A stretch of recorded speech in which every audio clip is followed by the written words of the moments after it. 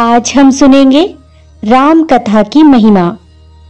भगवान श्री राम और लक्ष्मण माता सीता के साथ पिता दशरथ की आज्ञा पालन के लिए वनवास को चल दिए। रास्ते में सारे तीर्थ, गंगा, यमुना, गोमती आदि में तर्पण किया। वन में फल, फूल कंदमूल खाकर जीवन यापन कर रहे थे। कार्तिक मास एकम को राम जी की आज्ञा से लक्ष्मण जी कंद मूल फल तोड़कर लाए और सीता जी के आगे रख दिए। सीता जी ने उनकी चार पत्तलें बनाई। लक्ष्मण जी पूछने लगे, माता, आपने चार पत्तलें किसके लिए बनाई हैं? सीता माता बोली, एक पत्तल राम जी की, एक पत्तल लक्ष्मण जी की, एक पत्तल गौ माता की और एक पत्तल मेरी। राम और लक्ष्मण जी ने अपनी अपनी पत्तलें उठा ली और एक गौ माता के आगे रख दी। सीता माता ने अपनी पत्तल नहीं उठाई और न ही गौ माता ने। राम जी ने सीता जी से पूछा, आपने फलाहार क्यों नहीं किया? तब सीता जी ने कहा, मेरा तो राम कथा कहने का नियम है। राम कथा कहने से पहले मैं फलाहार नहीं करूँगी। तब राम जी ने कहा राम कथा मुझे सुना दो। सीता जी बोली, आप तो मेरे पतिदेव हैं, आपको राम कथा कैसे सुनाऊँगी? लक्ष्मण जी ने कहा, माता, आप मुझे राम कथा सुना दो। सीता जी बोली, आप तो मेरे देवर हैं, औरतों की बातें औरतें ही जानती हैं। तब लक्ष्मण जी सोचने लगे कि वन में औरतें कहाँ से आएँगी? तब लक्ष्मण जी ने धरती पर एक माया नगरी बसा दी। उस नगरी में सभी चीज़ें, जैसे महल, मालिया, कपड़ा, बर्तन, काम करने की सभी चीज़ें सोने की थीं। उस नगरी का नाम सोने की नगरी रख दिया।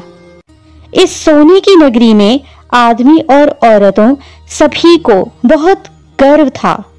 कोई भी व्यक्ति गरीब नहीं था।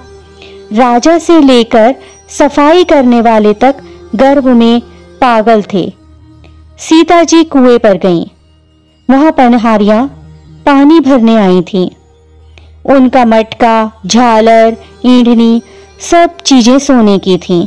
सीता जी कुएँ पर बैठी औरतों से राम राम बोली, पर किसी ने भी राम राम का जवाब नहीं दिया, क्योंकि वे सब तो गर्भ में डूबी हुई थी थोड़ी देर में एक दावड़ी आई। सीता जी ने उसे भी राम राम कहा और बोली, तुम मेरी राम कथा सुन लो। दावड़ी बोली, आपकी राम कथा मैं नहीं सुनती। मैं तो अपने घर को जा रही हूँ। सीता जी बोली, मेरे राम लक्ष्मण भूखे हैं। दावड़ी बोली, कौन से राम लक्ष्मण? मैं तो घर को जा रही हूँ। मुझे मेरी माँ बुला रही है। इतना कहकर रावड़ी अपने घर को चल दी। सीता जी को उस पर बड़ा क्रोध आया। पूरी सोने की नगरी पीतल की हो गई। दावड़ी की माँ ने पूछा, जेवर, मटका, ईंधनी, सब खोटा कहाँ से कर लाई? दावड़ी ने कहा, मुझे नहीं पता। मैं तो जो पहने हुए थी, वही लेकर आई हूँ। पर कुएँ पे एक बहुत ही सुंदर सी तपस्विनी बैठी हुई थी। उसने कहा था कि मेरी राम कथा सुन लो। परंतु मैंने तो मना कर दिया। जिससे उसने कुछ टोटका कर दिया होगा तो पता नहीं मुझे। माँ बोली, जाओ और उसकी राम कथा सुनाओ। वो तपस्विनी नहीं है, वो तो सीता जी हैं। वापस जाओ, अपने घर में रिद्धि सिद्धि हो जाएगी। अपनी तो पूरी नगरी ही पीतल की हो गई है। दावड़ी बोली, मैं तो वापस नहीं जाऊँगी। इतने में बेटे की बहू वहाँ आ गई। उसने कहा, आपकी आज्ञा हो तो मैं सीता जी के दर्शन कराऊं माँ, और राम कथा भी सुनाऊँगी. सासू बोली, जा बेटी, सीता जी की राम कथा सुनकर आना। गहना, कपड़ा, सब पीतल का ही पहन जा। बहू कुएँ पर जाकर बैठ गई। खाली मटका पानी से भरती और फिर खाली कर देती। यह देखकर सीता जी बोली, तुम्हारे घर में कोई काम नहीं है क्या? बहू बोली, माता मैं तो सारा काम निपटा कर आई हूँ। तब सीता जी बोली, तूने मुझे माता कहा है। यह सुनकर मेरा मन हर्षित हो रहा है। अगर समय हो तो मेरी राम कथा सुन लो। बहू बोली हाँ माता, आप राम कथा सुनाइए। आपकी राम कथा सुनकर ही मैं घर को जाऊँगी। सीता जी ने कहा, तूने मेरी इज़्ज़त रखी। भगवान तेरी इज़्ज़त रखेंगे। हमारी मृत्यु लोक में तूने सहायता की है। भगवान तेरी स्वर्ग लोक में सहायता करेंगे। सीता माता ने राम कथा कहनी शुरू कर दी और बहू राम कथा सुनने लगी।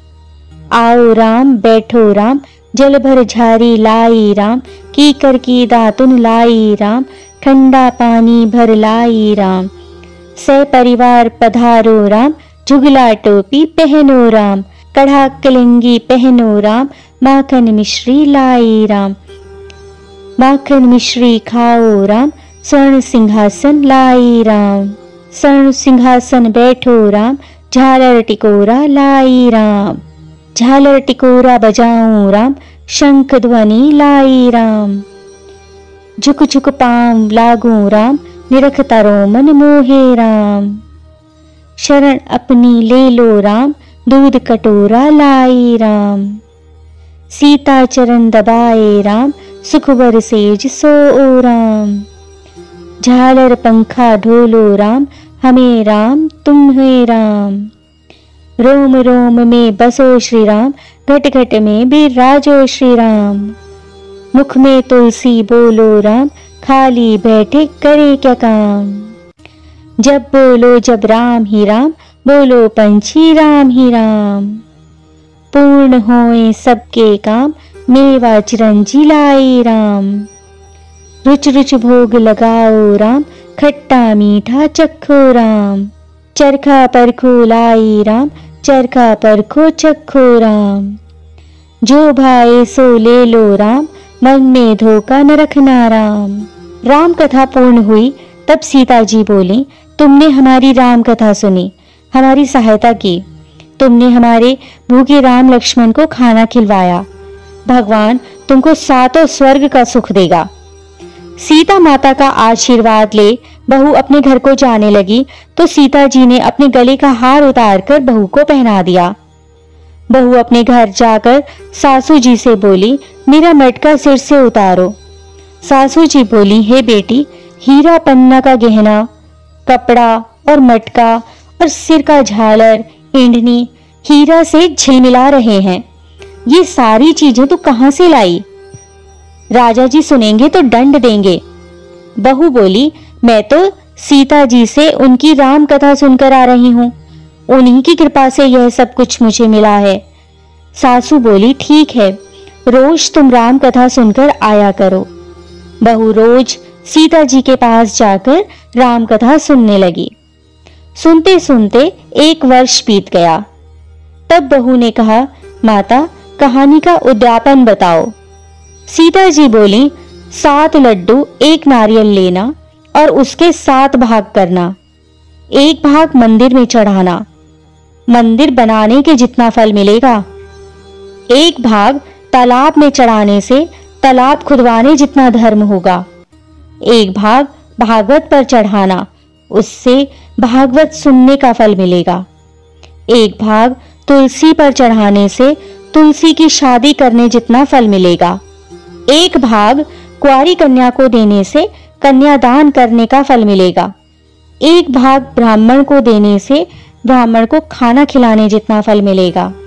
और एक अंतिम भाग सूर्य भगवान को चढ़ाना, उससे तैतीस करोड़ देवी देवताओं को भोग लगाने जितना फल मिलेगा। बहु जल्दी जल्दी घर आ गई। सात लड्डू और एक नारियल लाई। उसने उसके सात बराबर भाग किए। एक भाग मंदिर में, एक भाग तालाब में, एक भाग भागवत में, एक तुलसी में एक कन्या को, एक ब्राह्मण को और एक सूर्य भगवान को चढ़ा दिया। सूर्य भगवान को चढ़ाने से तैतीस करोड़ देवी देवताओं ने भोग लगा लिया। अब बहू फिर सीता जी के पास आई और बोली, माता, मैंने सबका उद्यापन कर दिया है। सीता जी बोली अच्छा बहू, अब बैठ जाओ। सात दिनों बाद वैकुंठ धाम से विमान आएगा। सो, सात दिनों के बाद वैकुंठ धाम से विमान रिमझिम रिमझिम करता हुआ आया। बहू बोली सासू जी विमान आया है, आप भी चलो। सासू जी बोली, बहू, मैं अकेली कैसे जाऊँ? अपने ससुर जी को भी ले चल। अपने माता पिता को भी ले लो। भाई, बंधु, कुटुंब, कबीलों को सभी को ले लो। अड़ोसी पड़ोसियों को भी लो। बहू ने सबको विमान में बिठा लिया। विमान फिर भी खाली रहा। इतने में नंदरानी आई और बोली, भाभी, मुझे भी विमान में बिठा लो। माता ने देखा, विमान में जगह ही नहीं है। बहू सीता जी से बोली, माता, हमारी नंद को भी बैठाओ। सीता जी बोली, तुम्हारी नंद घमंड से भरी हुई है और हमारा विमान कच्चे धागे से बना हुआ है। वह टूट जाएगा। नंद बोली, भाभी, मैं यहाँ अकेली कैसे रहूँगी? मुझे सांप बिच्छू खा जाएँगे। भाभी बोली, अपनी करनी आप ही भोगो। हम अपनी करनी से सीता माता के साथ जा रहे हैं। इतने में बहू अपने पति के साथ विमान में विराजमान हो गई। यह देखकर नगर के सभी लोग इकट्ठे हो गए और पूछने लगे, बहू, तुमने ऐसा कौन सा धर्म का कार्य किया जो सब लोग सीता जी के साथ विमान में बैठकर वैकुंठ धाम जा रहे हो। आपने रामायण का पाठ किया, गीता का पाठ किया या कोई और अखंड पुण्य किया है, जिससे स्वर्ग से विमान लेने आया है। बहू बोली, मैंने तो केवल सीता माता से राम कथा सुनी थी और उसका उद्यापन किया था। नगरी के लोग कहने लगे, बहू, हमें भी राम कथा सुनाओ। बहू ने सबको राम कथा सुनाई। राम कथा संपूर्ण होते ही पूरी नगरी सोने की हो गई। सभी देवी देवता सीता माता की जय जयकार करने लगे। इसी प्रकार की अन्य व्रत एवं पौराणिक कथा कहानियों के लिए हमारे चैनल को सब्सक्राइब और शेयर करें, ताकि आप भी दूसरों तक इन्हें पहुंचाकर धर्म लाभ प्राप्त कर सकें।